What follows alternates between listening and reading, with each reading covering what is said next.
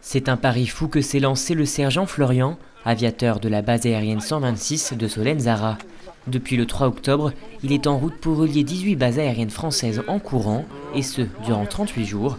Ce samedi, il a fait escale à la base aérienne 113 de Saint-Dizier.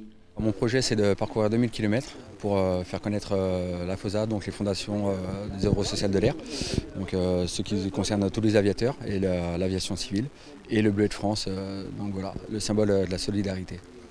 En effet, derrière ce message se cache un beau geste. Ces deux associations accompagnent le sergent dans la réalisation de ce projet. Les dons récoltés leur seront directement reversés. Ma plus grande valeur, c'est surtout le partage, le partage et aussi le devoir de mémoire.